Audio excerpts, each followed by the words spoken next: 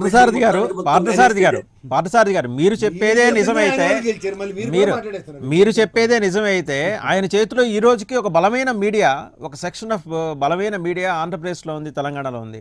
మరి అదే మీడియాని అడ్డం పెట్టుకుని ఈరోజు పరిషత్ ఎన్నికల్లో నిలబడి విజయం సాధించవచ్చు కదా? ఏ ఇప్పుడు ఆ మీడియా మంత్రం అప్పుడు పనిచేసిన మంత్రం ఇప్పుడు పనిచేయట్లేదు సాక్షి అనేటువంటిది వీళ్ళు వైఎస్ఆర్సీపీ వాళ్ళు ప్రారంభించారు.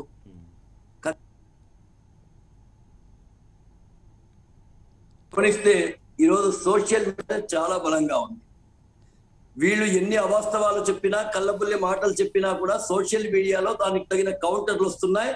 అది విపరీతంగా కూడా ఉంది. వాస్తవంగా సోషల్ మీడియా కూడా కావాల్సిన దానికన్నా అతి స్వేచ్ఛతో అది ఒక రకంగా నాశనం అవుతుంది అనేటువంటి విషయాన్ని కూడా నేను చెప్పాలనుకుంటున్నాను. ఇప్పుడు ఎవడైనా సరే మీడియాను అడ్డం పెట్టుకుంటే స్థానికంగా తాత్కాలిక ప్రయోజనం పొందుతాడేమో కానీ పర్మనెంట్ డెవలప్మెంట్ చేస్తేనే జరుగుతుంది అనేటువంటిది వాస్తవం. భారతీయ జనతా పార్టీ మీరే చెప్పేశారు కాబట్టి నేను పెద్దగా చెప్పాలనుకోలే.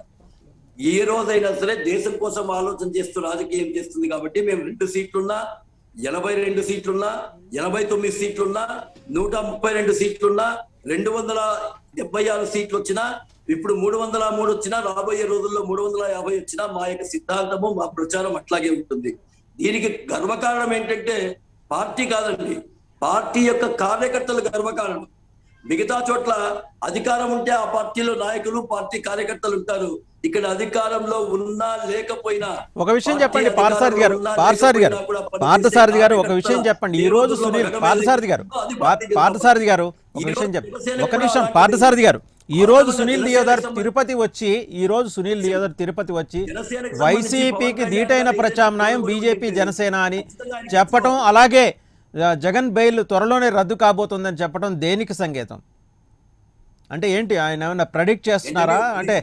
ఒక దర్యాప్తు సంస్థ చెప్పాల్సిన విషయం బీజేపీ నాయకుడు ఎలా చెప్తాడు? ఆయన బెయిల్ రద్దు అవుతోందనో లేకపోతే ఎలా ప్రెడిక్ట్ చేస్తున్నారు? ఏ రకమైన మెసేజ్ మీరు కన్వే చేద్దాం అనుకుంటున్నారు? మేము చాలా రోజుల నుంచి ఎక్స్పెక్ట్ చేస్తున్నామండి. చంద్రబాబు నాయుడు ఓటుకు నోటు కేసులో రావల్ల బాబు అని చెప్తున్నాం మేము. అలాగే జగన్ గారు చెప్పేసినటువంటి అవినీతి మీద మొత్తం అంతా కూడా కోర్టులో రావాలని కోరుకుంటున్నాం. ఎన్నేళ్ళైనా రాకూడదు అనుకుంటారా? లాలూ ప్రసాద్ యాదవ్ అనేక సంవత్సరాల పాటు దాన్ని తప్పించుకున్నాడు. కానీ ఏదో ఒక రోజు అయితే శిక్ష పడింది కదా? అట్లే ఈ రోజు కూడా నేను జగన్ గారు కానీ చంద్రబాబు నాయుడు గారు కానీ ఇంకొకరు కానీ అవినీతి చేసిండేటువంటి వాళ్ళ యొక్క బండారం బయటపడాలని చెప్పేసి మేము కోరుకుంటాం. అది పదే పదే చెప్తాం. చంద్రబాబు నాయుడు విషయంగా మేము ఈ రోజు ప్రత్యేకంగా వచ్చి తిరుపతిలో చెప్పడానికి చెప్పాం గల కారణం. ఏంటి? నేను అనేది ఈ రోజు మీ మధ్య మీకు వైసీపీకి మధ్య ఉన్న ఒక హిడెన్ అండర్స్టాండింగ్ ఒక దాక్కున్న ఎజెండా ఎందుకు ఈ రోజు పక్కకెళ్ళిపోయి మీరు మీ అసలు స్వరూపంతో ముందుకొచ్చారు జగన్ని ఎందుకు టార్గెట్ చేస్తూ మాట్లాడుతున్నారు? ఎక్కడ మీకు జనం. ఎవరు ఊహించట్లేదండి ఎవరు ఊహించట్లేదు ఎవరు ఊహించట్లేదు వాస్తవం రాష్ట్ర ప్రజల రాష్ట్ర లేదు. ప్రజలందరికీ తెలుసు దేశం మొత్తానికి కూడా తెలుసు ఇవాళ ఎందుకు ఆ హిడెన్ ఎజెండా పక్కకి వెళ్ళిపోయింది తెలుసండి? మీరు అనుకుంటే తెలిసినట్లు కాదండి మేము అనుకోట్లా మేము అందరూ అనుకున్న తర్వాతే మా. దగ్గరకు వస్తుంది మేము అనుకుంటే జనం దగ్గరికి వెళ్ళదండి. పార్థసారథి గారు. అందరూ అనుకున్న తర్వాతే ఇక్కడికి వస్తుంది. ఇన్నాళ్ళు మీరు ఇన్నాళ్ళు మీరు తమలపాకుతో కొట్టుకుంటూ ఈ రోజు. హఠాత్తుగా ఎందుకు మాటల తూటాలు దాడి ఎందుకు బిగించేశారు? ఏంటి ఇండికేషన్ ఏంటి? దానికైతే సమాధానం చెప్పాలి మీరు. మీరు ఒక్కసారి గతంలో ఉన్న బైట్స్ చూస్తే వైఎస్ఆర్ సిపికి తెలుగుదేశం పార్టీకి కూడా మేము ఖచ్చితంగా వాళ్ళ వాళ్ళకి తగినటువంటి సమాధానాలు ఇస్తూనే ఉన్నాం. మీరు అవసరమైతే మీరు కొంత టైం ఇస్తే ఎప్పుడైనా నెక్స్ట్ మేము మా సోమ్ వీర్రాజు గారు ఏం చెప్పారు? కన్నా లక్ష్మణ్ గారు ఏం చెప్పారు?